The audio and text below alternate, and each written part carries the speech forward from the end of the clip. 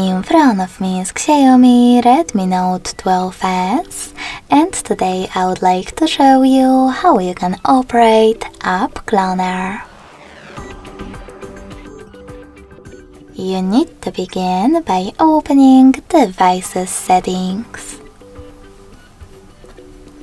In them, scroll down just a bit to access apps. Then click on Dual Apps. Tap on Create. And tap on the switcher next to one of your apps that you wish to clone, like AliExpress. Lastly, select Turn On in the pop-up and wait.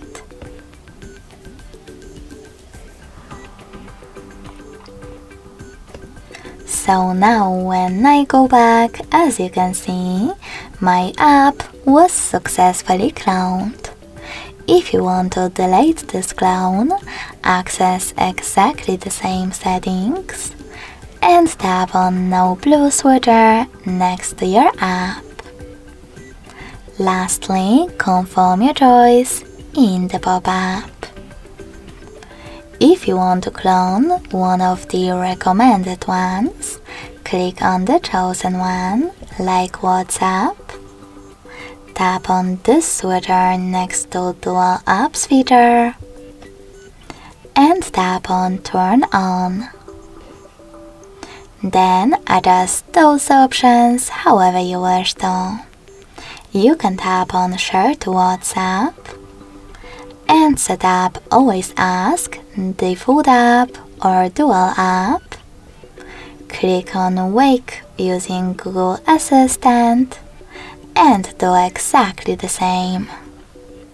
In order to delete this app, just tap on the same No Blue switcher next to Dual Apps and confirm your choice in the pop-up.